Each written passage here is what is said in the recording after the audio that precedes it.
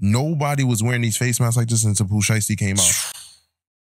Talk to him. As soon as you put that mask on, you just look like a robber. And and you want to know so crazy too? That's what they want to portray. That's why people's on these Instagrams posting it. Oh, I got I got this face mask on. That's the first thing that they want to other people. Oh, I'll do something to you. Absolutely. That's what they want you to think. They that's that's the beginning of portraying an image. Absolutely. And you don't have to do that to chase your your your career